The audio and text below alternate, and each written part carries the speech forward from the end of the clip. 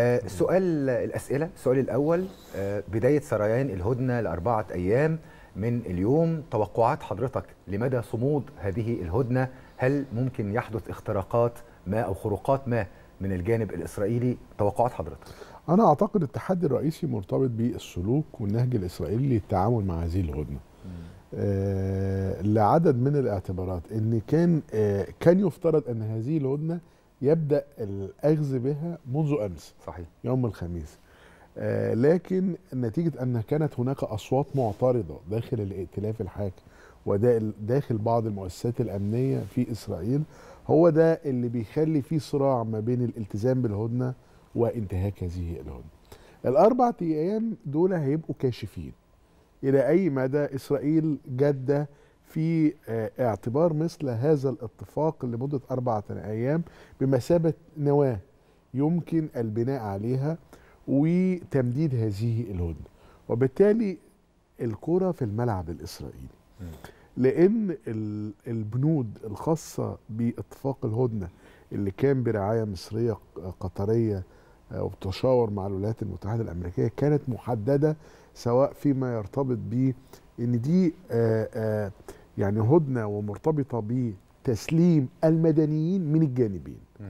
من النساء ومن الأطفال. يعني 50 من الجانب الإسرائيلي يتم الإفراج عنهم في مقابل 150 يعني واحد قدام ثلاثة النقطة الثانية وهي ودي اللي كانت بتدعمها القاهرة بدرجة رئيسية إن كيف يمكن استغلال تلك التهدئة بغرض إدخال المئات من شحنات المساعدات الإنسانية والمستلزمات الطبية والوقود وشحنات الطعام وتم الاستقرار وفق ما تم الإعلان عليه من مكتب كسائب عز الدين القسام إن إدخال من المقرر إدخال حوالي 200 من شحنات المساعدات الإنسانية والطبية بالإضافة إلى غاز الطعام.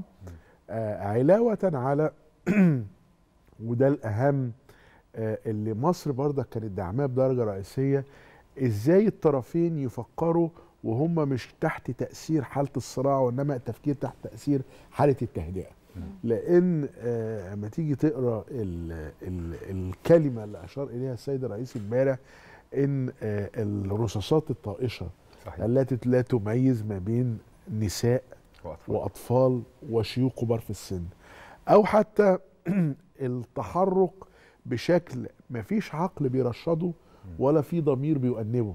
وده يعني بص كلمات مختارة بعناية شديدة للتوضيح إلى أي مدى أن في لحظات الحرب التفكير بيبقى مختلف عن لحظات التهدئة. وبالتالي أنا تصوري إن يعني إيه لأن عندي شكوك تملي في الجانب الإسرائيلي في فكرة التملص فكرة لأن برضك الإشارة اللي أنا حدثت عليها واحد مقابل ثلاثة آه برضك عاملة إزعاج بتبرر للجانب الإسرائيلي إن حركة المقاومة فرضت شروطها.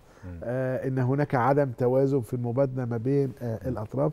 وبالتالي هيبان منذ آه الساعات القليلة المقبلة إلى أي مدى في التزام من جانب إسرائيل لأن هناك ضغوط من جانب الولايات المتحدة والدول الأوروبية. وأنت بتشوف يا دكتور محمد ال ال ال ال التوجهات اللي كان شوية بتتبناها الدول الأوروبية تغيرت نسبيا. مش هقول إن هي تخلت عن دعم إسرائيل لكن في تغير في المواقف الدولية.